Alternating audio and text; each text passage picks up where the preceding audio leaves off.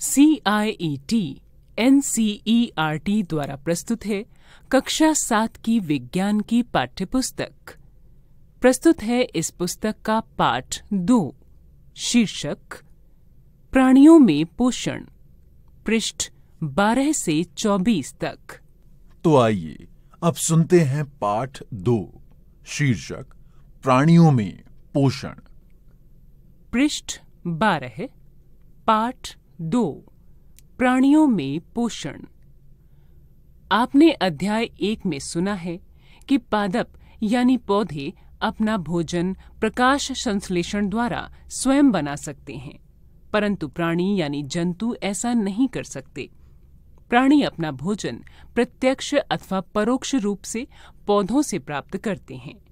कुछ प्राणी सीधे ही पौधों का भक्षण करते हैं, जबकि कई अन्य उन जंतुओं को अपना आहार बनाते हैं, जो पौधे खाते हैं।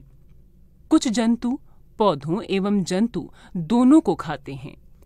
याद रखिए कि मानव सहित सभी जीवों को वृद्धि करने, शरीर को स्वस्थ एवं गतिशील बनाए रखने के लिए खाद्य पदार्थों की आवश्यकता होती है।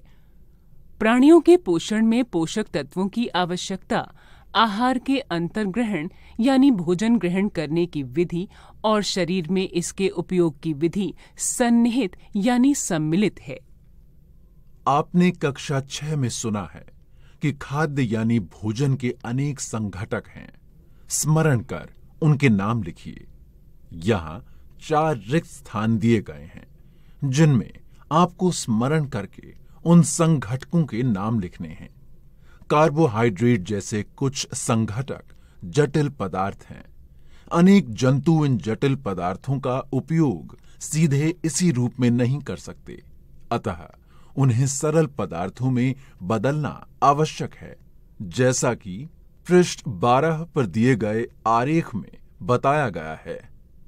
इस आरेख में बताया गया है कि कैसे जटिल पदार्थ सरल पदार्थों में परिवर्तित हो जाते हैं। लिखा है, जटिल खाद्य पदार्थों को सरल पदार्थों में परिवर्तित होना या टूटना विखंडन कहलाता है तथा इस प्रक्रम को पाचन कहते हैं। दो दशमलव एक, खाद्य अंतर्ग्रहण की विभिन्न विधियाँ। भोजन के अंतर्ग्रहण की विधि विभिन्न जीवों में भिन्न भिन्न होती है। मधुमक्खी एवं मरमर पक्षी यानी कि हमिंग बर्ड पौधों का मकरंद चूसते हैं। मानव एवं कुछ अन्य जंतुओं में शिशु माँ का दूध पीते हैं। अजगर जैसे सर्प वंश के प्राणी अपने शिकार को समूचा ही निगल जाते हैं। कुछ जलीय प्राणी अपने आसपास पानी में तैरते हुए खाद्य कणों को छानकर उनका भक्षण करते हैं। क्रियाकलाप दो दशमलव एक। सारिणी दो दशमलव एक में दिए गए जंतुओं के भोजन के प्रकार एवं पोषण प्राप्त करने की विधि कौन सी है? यहाँ, पृष्ठ बारह पर, सारिणी दो दशमलव एक में अंतर्ग्रहण की विभिन्न विधियाँ बताई गई हैं। यहाँ अलग अलग जंतुओं का नाम लिखा है। उनके आहार का प्रकार और आहार की विधि आपको लिखनी है। अलग अलग जंतुओं, जिनका नाम यहाँ दिया गया है, वो हैं घोंघा, चींटी, चील, मरमर पक्षी, जू, मच्छर, तितली और मक्खी। इस सारणी के साथ लिखा हुआ है, आहार की विधि, छीलना, चबाना, काटना या वेधन, पकड़ना तथा निगलना, साइफनी, स्पंजी, चूषण इत्यादि। अपने प्रेक्षण सारणी दो दशमलव एक में लिखिए। आप पाएँगे कि सारणी में साथ में लिखी गई खाद्य अंतर्ग्रहण की विधियाँ उन विधियों का विवरण लिखने में सहायक हैं, जिनसे जंतु भोजन का अंतर ग्रहण करते हैं। पृष्ठ तेरह। है यहाँ पृष्ठ तेरह पर चित्र दो दशमलव एक, यानी स्टारफिश का चित्र बताया गया है। साथ ही लिखा है, अद्भुत सत्य। स्टारफिश यानी तारा मछली कैल्शियम कार्बोनेट के कठोर कवच वाले जंतुओं का आहार करती है, जैसा कि चित्र दो दशमलव एक में दिया गया है। कवच खोलने के बाद यह अपने मुख से अपना अमाशय बाहर निकालती है तथा जंतु के कोमल भागों को खाती है। आमाशय वापस शरीर में चला जाता है तथा आहार धीरे धीरे पचता है।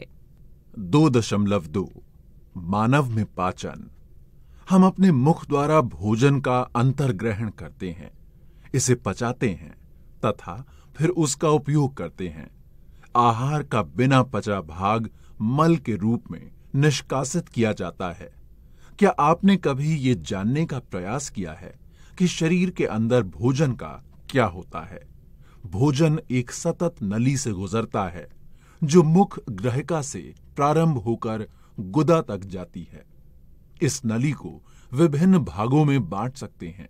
पहला, मुख गुहिका, दूसरा, ग्रास नली या ग्रसिका, तीसरा, आमाशय, चौथा, क्षुद्रांत्र यानी छोटी आंत, पांचवा, बृहदांत्र यानी बड़ी आंत, जो मलाशय से जुड़ी होती है, तथा छठा, मलद्वार, अथवा गुदा। क्या ये बहुत लंबा मार्ग नहीं है? ये सभी भाग मिलकर आहार नाल, यानी पाचन नली का निर्माण करते हैं। जैसे जैसे भोजन विभिन्न भागों से गुजरता है, उसके विभिन्न घटकों का पाचन भी क्रमिक रूप से होता जाता है। आमाशय की आंतरिक भित्ति क्षुद्रांत्र तथा आहार नाल से संबंध विभिन्न ग्रंथियाँ, जैसे कि लाला ग्रंथि, यकृत, अग्न्याशय, पाचक रस स्त्रावित करती है।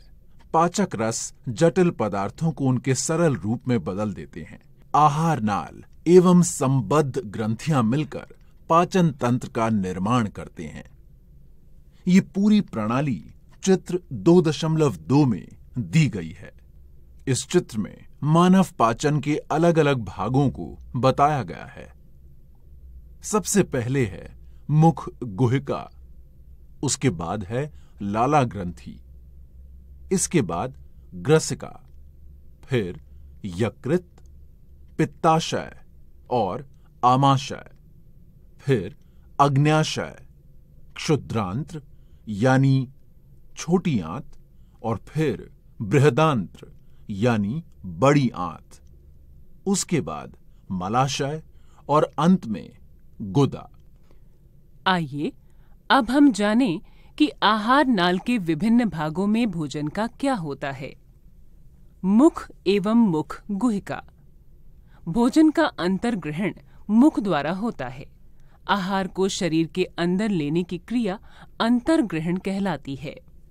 पृष्ठ चौदह। बूझो चित्र दो दशमलव दो में दिखाई गई अत्यधिक कुंडलित शुद्रांत्र को देखकर आश्चर्यचकित है। वह इसकी लंबाई जानना चाहता है। क्या आप इसका अनुमान लगा सकते हैं? पृष्ठ संख्या सत्रह में इसकी सन्निकट लंबाई दी गई है। कल्पना कीजिए कि इतनी लंबी संरचना हमारे शरीर के छोटे से हिस्से में किस प्रकार समाई हुई है। हम दांतों की सहायता से भोजन चबाते हैं तथा यांत्रिक विधि द्वारा उसे छोटे छोटे टुकड़ों में पीस डालते हैं। प्रत्येक दांत मसूड़ों के बीच अलग अलग गर्तिका यानी सॉकेट में धंसा होता है, जैसा कि चित्र दो दशमलव तीन में बताया गया है। हमारे दांतों की आकृति भिन्न भिन्न है तथा उनके कार्य भी भिन्न हैं। इसके अनुसार उन्हें अलग अलग नाम दिए गए हैं। जैसा कि दो दशमलव तीन चित्र में बताया गया है। यहाँ पृष्ठ चौदह पर चित्र दो दशमलव तीन दिया गया है, जिसमें दांतों की व्यवस्था तथा विभिन्न प्रकार के दांतों के विषय में बताया गया है। यहाँ चार प्रकार के अलग अलग दांत दिए गए हैं, चवर्णक, अग्रचवर्णक रदनक और कृंतक। क्रियाकलाप दो दशमलव दो। अपने हाथ धोइए। दर्पण में देखते हुए अपने दांतों की गणना कीजिए। अपनी तर्जनी से दांतों को छूकर महसूस कीजिए। आपके मुख में कितने प्रकार के दांत हैं? एक सेब अथवा रोटी का टुकड़ा लेकर उसे काटिए। आप उसे काटने या कर्तन एवं दंशन के लिए किन दांतों का उपयोग करते हैं? कौन से दांत खाद्य पदार्थों को चीरने, यानी वेधन और फाड़ने के काम आते हैं? उन दांतों को भी पहचानिए जो चबाने एवं पीसने के काम आते हैं। अपने प्रेक्षण सारणी दो दशमलव दो में लिखिए। हमारे मुख में लाला ग्रंथि होती है, जो लाला रस, यानी लार, स्रावित करती है। क्या आप जानते हैं कि लाला रस का भोजन पर क्या प्रभाव पड़ता है? आइए इसका पता लगाएँ। सारणी दो दशमलव दो यहाँ पृष्ठ चौदह पर दी गई है, जिसमें दांत के प्रकार एवं उनके कार्य बताए गए हैं। दांतों के प्रकार में लिखे हैं, कर्तन एवं दंशन वाले दांत, चीरने एवं फाड़ने वाले दांत, चबाने एवं पीसने वाले दांत। दांतों की संख्या, यानी निचला जबड़ा और ऊपरी जबड़ा और साथ ही इनका योग आपको यहाँ इस सारणी में लिखने हैं। दूध के दांत तथा स्थायी दांत। क्या आपको याद है कि कुछ वर्ष पूर्व आपके दांत गिरने लगे थे? हमारे दांतों का प्रथम सेट शैशव काल में निकलता है तथा लगभग आठ वर्ष की आयु तक ये सभी दांत गिर जाते हैं। इन्हें दूध के दांत कहते हैं। इन दांतों के स्थान पर दूसरे दांत निकलते हैं, जिन्हें स्थायी दांत कहते हैं। सामान्य स्वस्थ व्यक्ति के स्थायी दांत पूरे जीवन भर बने रहते हैं, तथापि वृद्धावस्था में ये प्रायः गिरने लगते हैं। पृष्ठ पंद्रह। क्रियाकलाप दो दशमलव तीन। दो परख नलियाँ लीजिए, उन्हें ए तथा बी चिन्हित कीजिए। परख नली ए में एक चम्मच उबले चावल डालिए। एक चम्मच उबले चावल मुख से लेकर तीन से पाँच मिनट तक चबाइए तथा इन्हें दूसरी परख नली बी में लीजिए। दोनों परख नलियों में तीन से चार एम जल डालिए, जैसा कि चित्र दो दशमलव चार में बताया गया है। अब दोनों परख नलियों में आयोडीन विलयन की दो तीन बूंदें डालिए तथा उनका प्रेक्षण कीजिए। आप परख नली ए तथा बी में क्या अंतर देखते हैं? परख नली के रंग में परिवर्तन क्यों आता है? परिणामों की चर्चा अपने मित्रों एवं अध्यापक से कीजिए। लाला रस चावल के मंड को शर्करा में बदल देता है। यहाँ पृष्ठ पंद्रह पर दो परख नलियों ए तथा बी के माध्यम से मंड पर लार का प्रभाव बताया गया है। पृष्ठ पंद्रह पर चित्र दो दशमलव चार में मंड पर लार का प्रभाव बताते हुए एक चित्र दिया हुआ है। इसमें दो परख नलियाँ हैं, जिन्हें ए तथा बी चिन्हित किया गया है। इसमें उबले हुए चावल, जल, चबाए हुए चावल एवं आयोडीन विलयन किया गया है। जीव एक मांसल पेशीय अंग है। जो पीछे की ओर मुख गुहिका के अधर तल से जुड़ी होती है, जैसा कि चित्र दो दशमलव छह में जो कि पृष्ठ पंद्रह पर दिया गया है, में बताया गया है। इसका अग्रभाग स्वतंत्र होता है और किसी भी दिशा में मुड़ सकता है। क्या आपको जीभ के कार्य ज्ञात हैं? हम बोलने के लिए जीभ का उपयोग करते हैं। इसके अतिरिक्त ये भोजन में लार को मिलाने का कार्य करती है, तथा निगलने में भी सहायता करती है। जीभ द्वारा ही हमें स्वाद का पता चलता है। जीभ पर स्वाद कलिकाएँ होती हैं, जिनकी सहायता से हमें विभिन्न प्रकार के स्वाद का पता चलता है। मिठाइयाँ और दंत क्षय सामान्यतः हमारे मुख में जीवाणु पाए जाते हैं, परंतु उनसे हमें कोई हानि नहीं होती। फिर भी खाने के पश्चात यदि हम दांत एवं मुख साफ़ न करें तो मुख में अनेक हानिकारक जीवाणु वास करके वृद्धि करने लगते हैं। ये जीवाणु दांतों के बीच फंसे भोजन की शर्करा का विघटन कर अम्ल निर्मोचित करते हैं। ये जानने के लिए कि अम्ल क्या है, अध्याय पाँच पढ़िए। अम्ल क्या है, ये अध्याय पाँच में बताया गया है। ये अम्ल धीरे धीरे दांत को क्षति पहुंचाते हैं, जैसा कि चित्र दो दशमलव पाँच में बताया गया है। इसे दंत क्षय कहते हैं। यदि समय रहते इसका उपचार न किया जाए तो दांतों में असह्य पीड़ा होने लगती है तथा चरम अवस्था में टूटकर गिर जाते हैं।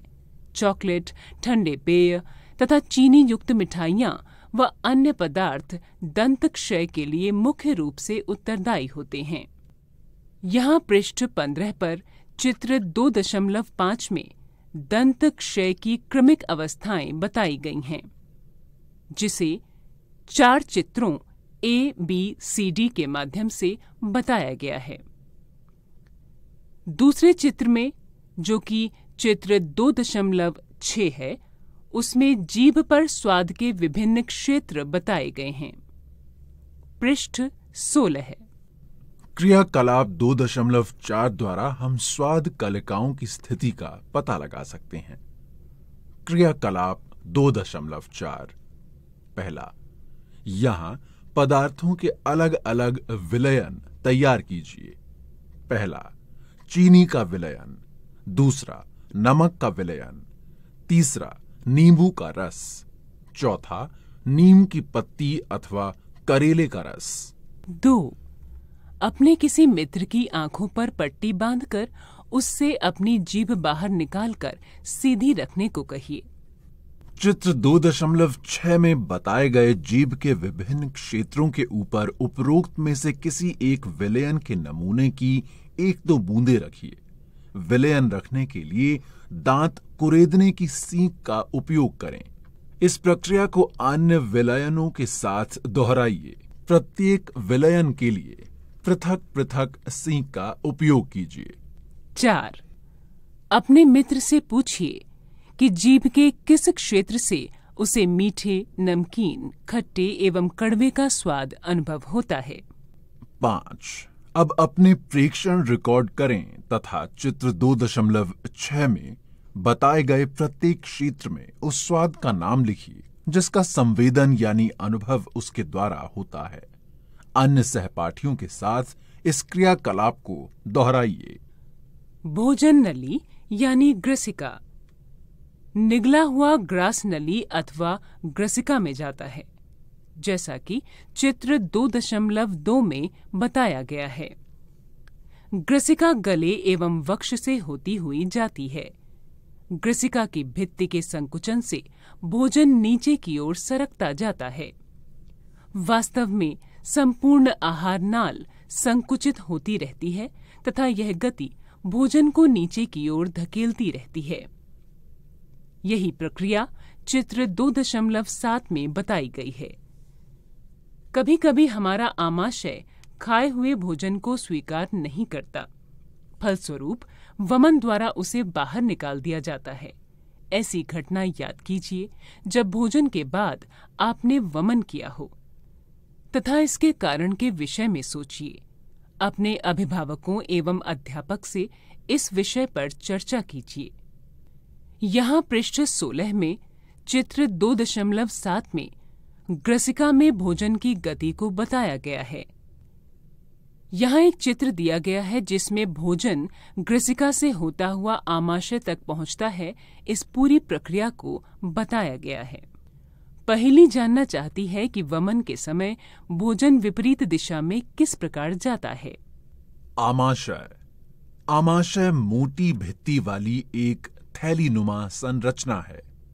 ये चपटा एवं जे की आकृति का होता है तथा आहार नाल का सबसे चौड़ा भाग है। ये एक और ग्रसिका, यानी कि ग्रास नली से खाद्य प्राप्त करता है, तथा दूसरी ओर क्षुद्रांत्र में खुलता है। पृष्ठ सत्रह। आमाशय का आंतरिक अस्तर, यानी कि सतह, श्लेष्मल हाइड्रोक्लोरिक अम्ल तथा पाचक रस श्रावित करता है। श्लेष्मल आमाशय के आंतरिक अस्तर को सुरक्षा प्रदान करता है। अम्ल अनेक ऐसे जीवाणुओं को नष्ट करता है जो भोजन के साथ वहाँ तक पहुँच जाते हैं। साथ ही यह माध्यम को अम्लीय बनाता है, जिससे पाचक रसों को क्रिया करने में सहायता मिलती है। पाचक रस यानी जठर रस प्रोटीन को सरल पदार्थों में विघटित कर देता है। पृष्ठ सत्रह पर, ऊपर के भाग में अलग रंग में लिखा हुआ है। कभी कभी जब आप जल्दी जल्दी खाते हैं अथवा खाते समय बात करते हैं, आपको खांसी उठती है या हिचकी आती है अथवा घुटन का अनुभव होता है। ये खाद्य कणों के श्वास नली में प्रवेश करने के कारण होता है। श्वास नली नासिका से आने वाली वायु को फेफड़ों तक ले जाती है। ये ग्रसिका के साथ साथ चलती है, परंतु ग्रसनी में वायु एवं भोजन मार्ग एक ही होते हैं। फिर भोजन को श्वास नली में प्रवेश करने से किस प्रकार रोका जाता है? भोजन निगलने के समय एक मांसल रचना वॉल्व का कार्य करती है, जो श्वास नली को ढक लेती है तथा भोजन को ग्रसनी में भेज देती है। संयोग वशा, यदि भोजन के कण श्वास नली में प्रवेश कर जाते हैं तो हमें घुटन का अनुभव होता है तथा हिचकी आती है या खांसी उठती है। शुद्रांत। शुद्रांत लगभग सात दशमलव पाँच मीटर की लंबी अत्यधिक कुंडलित नली है। यह यकृत एवं अग्न्याशय से श्राव प्राप्त करती है। इसके अतिरिक्त इसकी भित्ति से भी कुछ रस श्रावित होते हैं। यकृत गहरे लाल भूरे रंग की ग्रंथि है, जो उदर के ऊपरी भाग में दाहिनी यानी दक्षिण की ओर अवस्थित होती है। यह शरीर की सबसे बड़ी ग्रंथि है। यह पित्त रस श्रावित करती है। जो एक थैली में संग्रहित होता रहता है। इसे पित्ताशय कहते हैं। जैसा कि चित्र दो दशमलव दो में बताया गया है। पित्त रस वसा के पाचन में महत्वपूर्ण भूमिका निभाता है। अग्न्याशय हल्के पीले रंग की बड़ी ग्रंथि है, जो आमाशय के ठीक नीचे स्थित होती है, जैसा कि चित्र दो दशमलव दो में बताया गया है।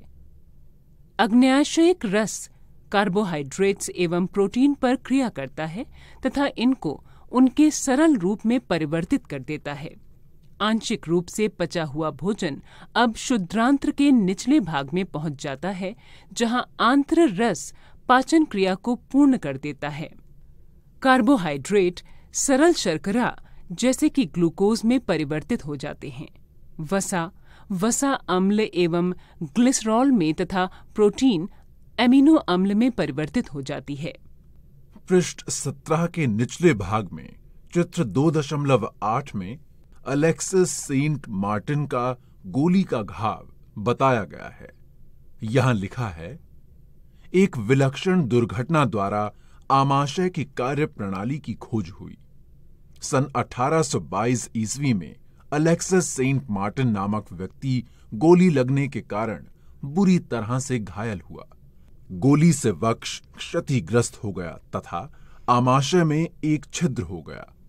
उसे विलियम ब्यूमोंट नामक अमरीकी सैनिक चिकित्सक के पास ले जाया गया।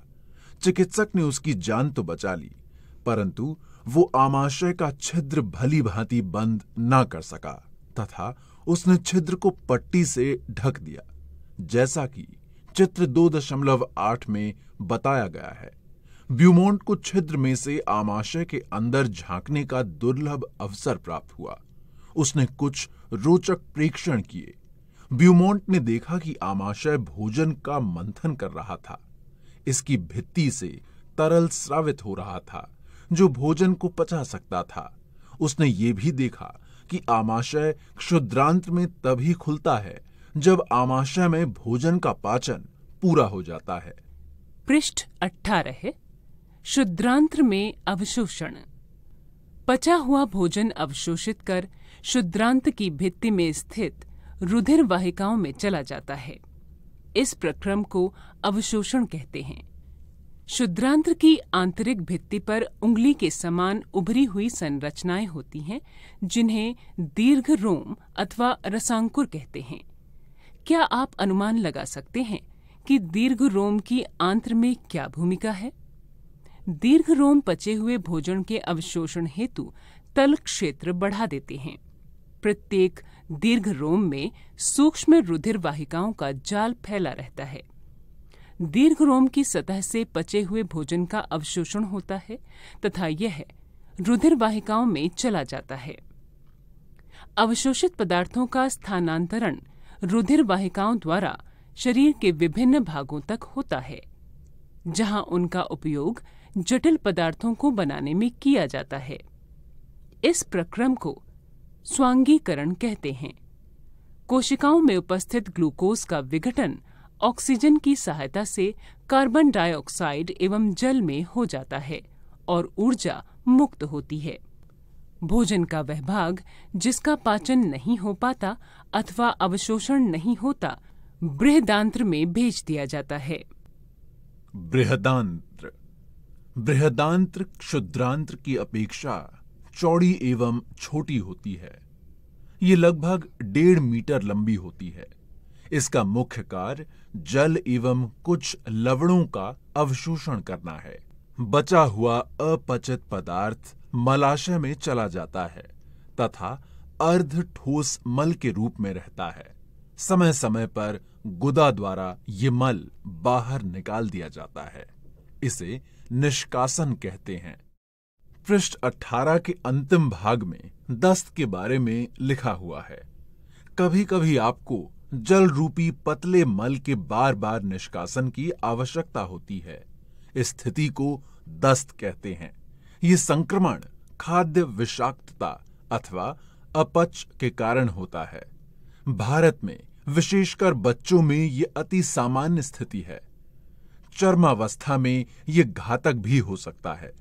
इसका मुख्य कारण शरीर से जल एवं लवण की अत्यधिक क्षति होना है। इसे सहजता से नहीं टालना चाहिए। चिकित्सक के पास जाने से पूर्व ही रोगी को उबालकर ठंडा किए हुए जल में एक चुटकी नमक एवं चीनी घोलकर पिलाना चाहिए। इसे जीवन रक्षक घोल अथवा ओ आर एस कहते हैं। दो दशमलव तीन। घास खाने वाले जंतुओं में पाचन। क्या आपने गाय, भैंस तथा घास खाने वाले यानी शाकाहारी अन्य जंतुओं को देखा है? वे उस समय भी लगातार जुगाली करते रहते हैं जब वे खा न रहे हों। वास्तव में वे पहले घास को जल्दी जल्दी निगलकर आमाशय के एक भाग में भंडारित कर लेते हैं। ये भाग रूमेन अथवा प्रथम आमाशय कहलाता है। रूमिनेंट में आमाशय चार भागों में बटा होता है, जैसा कि चित्र दो दशमलव नौ में बताया गया है। रूमेन में भोजन का आंशिक पाचन होता है, जिसे जुगाल या कड कहते हैं। परंतु बाद में जंतु इसको छोटे पिंडकों के रूप में पुनः मुख में लाता है तथा जिसे वह चबाता रहता है। इस प्रक्रम को रोमंथन यानी जुगाली करना कहते हैं। तथा ऐसे जंतु रूमिनेंट अथवा रोमंथी कहलाते हैं। यहाँ पृष्ठ 18 पर चित्र दो दशमलव नौ दिया गया है। ये किसी रोमंथी का आमाशय है। यहाँ इस चित्र में गाय का पाचन तंत्र साथ ही उसके आमाशय को खास तौर पर बताया गया है। पृष्ठ 19 घास में सेल्यूलोज की प्रचुरता होती है, जो एक प्रकार का कार्बोहाइड्रेट है। किसी रूमिनेंट अथवा रोमंथी पशु, हिरन आदि के रूमेन में सेल्यूलोज का पाचन करने वाले जीवाणु पाए जाते हैं। बहुत से जंतु एवं मानव सेल्यूलोज का पाचन नहीं कर पाते। पहेली जानना चाहती है कि ये जंतु भोजन करते समय इसे भली भांति क्यों नहीं चबा पाते? बूझो जानना चाहता है कि मनुष्य मवेशियों की तरह सेल्यूलोज को क्यों नहीं पचा सकता? जानवरों जैसे घोड़ा, खरगोश आदि में क्षुद्रांत्र एवं बृहदांत्र के बीच एक थैलीनुमा बड़ी संरचना होती है, जिसे अंधनाल कहते हैं। इस अंधनाल के बारे में आपने चित्र दो दशमलव नौ में सुना। भोजन के सेल्यूलोज का पाचन यहाँ पर कुछ जीवाणुओं द्वारा किया जाता है। जो मनुष्य के आहार नाल में अनुपस्थित होते हैं। अब तक आपने उन जंतुओं के विषय में पढ़ा, जिनमें पाचन तंत्र पाया जाता है। परंतु ऐसे बहुत से सूक्ष्म प्राणी हैं, जिनमें ना तो मुख होता है और ना ही पाचन तंत्र।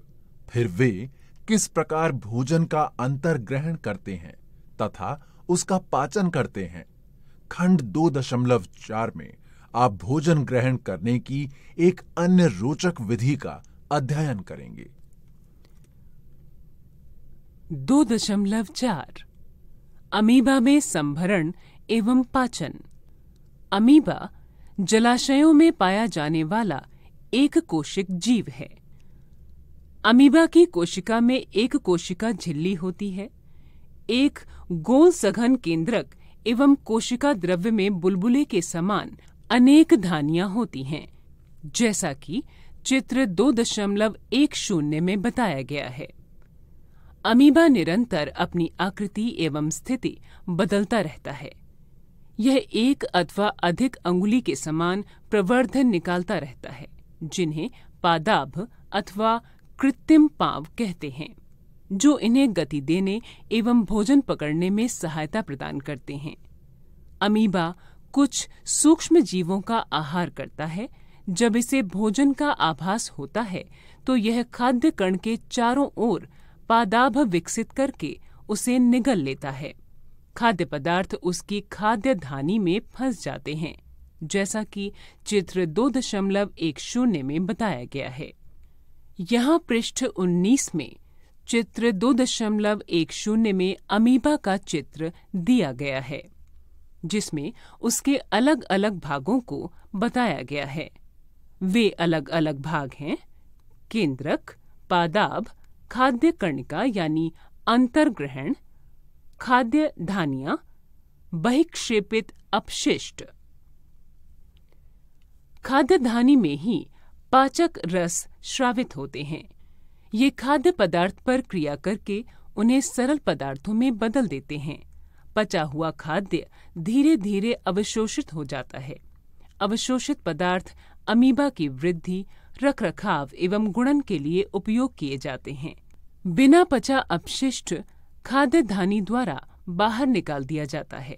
भोजन के पाचन का आधारभूत प्रक्रम सभी प्राणियों में समान है, जिसमें खाद्य पदार्थ सरल पदार्थों में परिवर्तित किए जाते हैं एवं ऊर्जा मुक्त होती है। अगले अध्याय में आप आंत्र द्वारा अवशोषित खाद्य पदार्थों का शरीर के अन्य भागों में स्थानांतरण के विषय में सुनेंगे।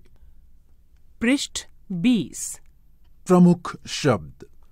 अवशोषण। अमीनो अम्ल। स्वांगीकरण। पित्त रस मुख गुहिका। रदनक सेल्यूलोस। पाचन तंत्र निष्कासन। वसा अम्ल। खाद्यधानी। पित्ताशय। कृंतक। अंतर्ग्रहण। यकृत। चवर्णक। ग्रसिका। अग्न्याशय। अग्रचवर्णक। पादाभ। रूमेन। रूमिनेंट या रोमंथी। लाला ग्रंथि दीर्घ रोम आपने क्या सीखा? जंतु पोषण में पोषण आवश्यकताएँ। भोजन अंतर्ग्रहण की विधियाँ एवं शरीर में इनका उपयोग सम्मिलित है। आहार नाल तथा श्रावी ग्रंथियाँ संयुक्त रूप से मानव के पाचन तंत्र का निर्माण करती हैं। इसमें एक मुख गुहिका, दो ग्रसिका, तीन आमाशय, चार क्षुद्रांत्र, पाँच बृहदांत्र, जो मालाशय में समाप्त होती है, तथा छह गुदा सम्मिलित हैं। पाचक रस श्रावित करने वाली मुख्य ग्रंथियाँ हैं। एक, लाला ग्रंथि, दो, यकृत एवं तीन, अग्न्याशय। आमाशय की भित्ति एवं शुद्रांत की भित्ति भी पाचक रस श्रावित करती है। विभिन्न जीवों में भोजन ग्रहण करने की विधियाँ भी भिन्न हैं। पोषण एक जटिल प्रक्रम है, जिसमें पहला, अंतर्ग्रहण, दूसरा पाचन, तीसरा अवशोषण, चौथा स्वांगीकरण, एवं पांचवा निष्कासन शामिल है। मंड जैसे कार्बोहाइड्रेट का पाचन मुख में ही प्रारंभ हो जाता है। प्रोटीन का पाचन आमाशय में प्रारंभ होता है। यकृत द्वारा श्रावित पित्त अग्न्याशय से अग्न्याशयिक श्राव एवं शुद्रांत्र भित्ति द्वारा श्रावित पाचक रस की क्रिया से भोजन के सभी घटकों का पाचन शुद्रांत्र में पूरा हो जाता है। जल एवं कुछ लवण बृहदांत्र में अवशोषित होते हैं। अवशोषित पदार्थ शरीर के विभिन्न भागों को स्थानांतरित कर दिए जाते हैं। बिना पचे अपशिष्ट जिनका अवशोषण नहीं होता मल के रूप में गुदा द्वारा शरीर के बाहर निकाल दिए जाते हैं। पृष्ठ 21 गाय, भैंस एवं हिरण जैसे घास खाने वाले जंतु रोमंथी यानी रूमिनेंट कहलाते हैं। वे पत्तियों का अंतर ग्रहण तीव्रता से करके उन्हें निगल लेते हैं तथा रूमेन में भंडारित कर लेते हैं। कुछ अंतराल के बाद भोजन पुनः मुख में आ जाता है और पशु धीरे धीरे जुगाली कर उसे चबाते हैं। अमीबा में भोजन का अंतर्ग्रहण पादाभ की सहायता से होता है तथा इसका पाचन खाद्य धानी में होता है। अभ्यास। एक, उचित शब्द द्वारा रिक्त स्थानों की पूर्ति कीजिए। क, मानव पोषण के मुख्य चरण। रिक्त स्थान एक, रिक्त स्थान दो, रिक्त स्थान तीन, रिक्त स्थान चार। एवं रिक्त स्थान पाँच हैं। ख मानव शरीर की सबसे बड़ी ग्रंथ का नाम रिक्त स्थान है। ग आमाशय में हाइड्रोक्लोरिक अम्ल एवं रिक्त स्थान का स्राव होता है जो भोजन पर क्रिया करते हैं। घ शुद्रांत्र की आंतरिक भित्ति पर अंगुली के समान अनेक प्रवर्ध होते हैं जो रिक्त स्थान कहलाते हैं। च अमीबा अपने भोजन का पाचन रिक्त स्थान में करता है। दो सत्य एवं असत्य कथनों को चिन्हित कीजिए। क मंड का पाचन आमाशय से प्रारंभ होता है। ख जीभ लाला ग्रंथि को भोजन के साथ मिलाने में सहायता करती है। ग पित्ताशय में पित्त रस अस्थायी रूप से भंडारित होता है। घ रूमिनेंट निगली हुई घास को अपने मुख में वापस लाकर धीरे धीरे चबाते रहते हैं। तीन निम्न में से सही विकल्प पर सही का चिन्ह लगाइए। क वसा का पूर्ण रूपेण पाचन जिस अंग में होता है वह है एक आमाशय दो मुख तीन शुद्रांत्र चार बृहदांत्र पृष्ठ 22 ख। जल का अवशोषण मुख्यतः जिस अंग द्वारा होता है वह है एक आमाशय दो ग्रसिका तीन क्षुद्रांत्र चार बृहदांत्र चार कॉलम ए में दिए गए कथनों का मिलान कॉलम बी में दिए गए कथनों से कीजिए। कॉलम ए खाद्य घटक जैसे कार्बोहाइड्रेट्स प्रोटीन वसा। कॉलम बी पाचन के उत्पाद जैसे वसा अम्ल एवं ग्लिसरॉल शर्करा अमीनो अम्ल। पाँच दीर्घ रोम क्या हैं? वह कहाँ पाए जाते हैं एवं उनके कार्य क्या हैं? छह पित्त कहाँ निर्मित होता है? ये भोजन के किस घटक के पाचन में सहायता करता है?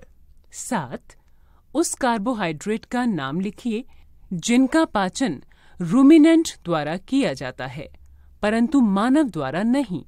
इसका कारण बताइए। आठ। क्या कारण है कि हमें ग्लूकोज से ऊर्जा तुरंत प्राप्त होती है? नौ। आहार नाल के कौन से भाग द्वारा निम्न क्रियाएँ संपादित होती हैं। एक, पचे भोजन का अवशोषण, रिक्त स्थान। दो, भोजन को चबाना, रिक्त स्थान। तीन, जीवाणु नष्ट करना, रिक्त स्थान। चार, भोजन का संपूर्ण पाचन, रिक्त स्थान। पाँच, मल का निर्माण, रिक्त स्थान। दस मानव एवं अमीबा के पोषण में कोई एक समानता एवं एक अंतर लिखिए। तेईस। ग्यारह। कॉलम ए में दिए गए शब्दों का मिलान कॉलम बी के उचित कथन से कीजिए।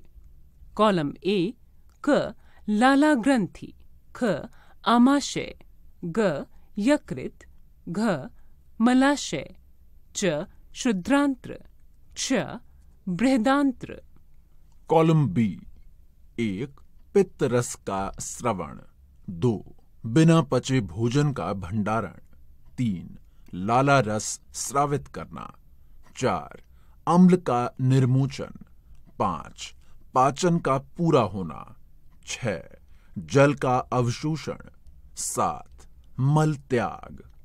बारह चित्र दो दशमलव एक एक में दिए हुए पाचन तंत्र के आरेख को नामांकित कीजिए। यहाँ पृष्ठ तेईस पर चित्र दो दशमलव एक एक दिया गया है, जिसमें मानव पाचन तंत्र के कुछ भागों को बताया गया है। तेरह, क्या हम केवल हरी सब्जियों या घास का भोजन कर जीवन निर्वाह कर सकते हैं? चर्चा कीजिए।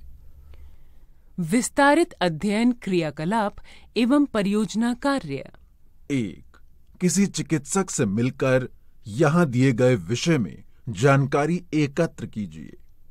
क किन परिस्थितियों में किसी रोगी को ग्लूकोज की ड्रिप लगाने की आवश्यकता होती है? ख रोगी को ग्लूकोज कब तक दिया जाता है? ग रोगी की अवस्था के सुधार में ग्लूकोज का क्या योगदान है? अपनी नोटबुक में इनके उत्तर लिखिए। पृष्ठ 24 दो, पता लगाइए कि विटामिन क्या है। इनके बारे में यहाँ जानकारी एकत्र कीजिए। क, हमारे आहार में विटामिन की क्या आवश्यकता है? ख, विटामिन प्राप्त करने के लिए हमें किन फलों अथवा सब्जियों का नियमित उपयोग करना चाहिए। अपने द्वारा एकत्र जानकारी के आधार पर एक पृष्ठ की टिप्पणी लिखिए। आप इसके लिए किसी चिकित्सक डाइटिशियन अपने अध्यापक अथवा किसी अन्य जानकार व्यक्ति अथवा स्रोत की सहायता से प्राप्त कर सकते हैं। तीन अपने मित्रों पड़ोसियों एवं सहपाठियों से दूध के दांत संबंधी आंकड़े एकत्र कीजिए। अपने आंकड़े सारणीबद्ध कीजिए। इसे करने का एक तरीका सारणी में बताया गया है। यहाँ सारणी में क्रम संख्या एक, दो, तीन, चार और पाँच लिखी है। इसके आगे प्रथम दांत गिरने के समय की आयु, अंतिम दांत गिरने के समय की आयु, दांतों की संख्या और गिरने वाले दांतों की एवं उनके स्थान पर निकले नए दांतों की संख्या। इन सभी जगहों को आपको अपने मित्रों पड़ोसियों एवं सहपाठियों से बात करके आंकड़ों के साथ भरनी है। कम से कम 20 बच्चों के आंकड़े एकत्र कीजिए तथा पता लगाइए कि दूध के दांत गिरने की औसत आयु क्या है। आप इसके लिए अपने मित्रों की सहायता भी प्राप्त कर सकते हैं। क्या आप जानते हैं किसी बकरी के दूध में मिलने वाली वसा की संरचना गाय के दूध की वसा की अपेक्षा सरल होती है। अतः बकरी के दूध का पाचन गाय के दूध की अपेक्षा आसान होता है। इसी के साथ 18 पाठों की इस पुस्तक का पाठ दो यहाँ समाप्त हुआ। वाचन शालिनी सिंह और वैभव श्रीवास्तव। अभी आप सुन रहे थे ये ध्वनि पाठ्य पुस्तक तकनीकी नियंत्रण, बटी लैंगलिंगडो तकनीकी सहायक, विकास सांगवान। निर्माण सहयोग, तनु गुप्ता। निर्माण एवं निर्देशन, वंदना अरिमर्दन। तथा प्रस्तुति C I E T N C E R T Nai Delhi, Bharat.